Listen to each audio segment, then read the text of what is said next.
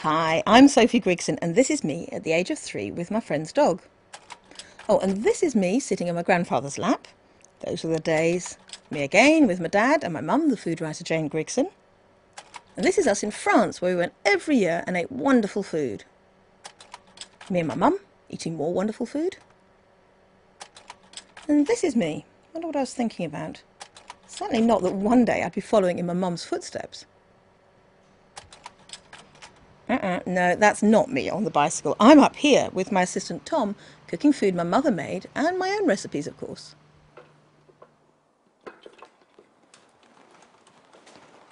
Got your pasta for you. Why? We're not having pasta today. Uh-huh. We are having pasta, but we're not having that pasta. Using this. We are using this. Look, I finally got my pasta roller fixed onto my mixer.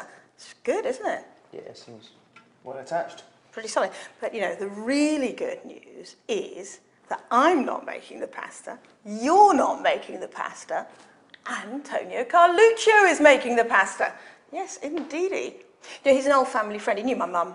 Alright. And, uh, and he's coming around, he's, as far as I can tell, he's bringing everything with him. The pasta dough, and what is even better, he's got a truffle, a real truffle to bring round as well. So it's going to be a meal of fantastic luxury, but great simplicity. It's what the Italians are best at, really. Well, that and a few other bits and bobs we won't go into here.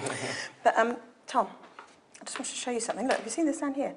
It says, you can be killed or seriously injured if you don't immediately follow instructions. Let's follow those instructions then. Yeah, I'm thinking of having that sort of blown up and put onto the wall.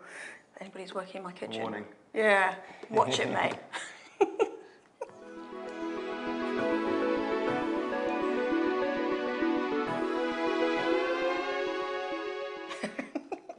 Could you uh, separate those and uh, yolks into there, whites into there? Will do. Today, today we are making one of my absolutely most beloved desserts from when I was a child, lemon honeycomb mold. And it was one I just look forward to so much and I still adore it. It's a great pudding, obviously it has lemons in it. It's set with gelatine, but it's kind of got a little bit of magic because as the jelly sets, it separates into three distinct layers. So I'm going to show you how you do it. You have a nice young man who separates your eggs for you. That's always a, a, very, very helpful start. We've also got some sugar in a bowl there. And I'm going to add the zest of two large lemons. Now, just before I peel the other one, I'm going to quickly put some gelatine leaves. And these are so much easier to use than the powdered gelatine. Fantastic squeaky things. And I'm just going to turn the heat up under my milk. I've got some milk coming up to the boil in the pan there. So these quickly go into a bath of cold water just to soften up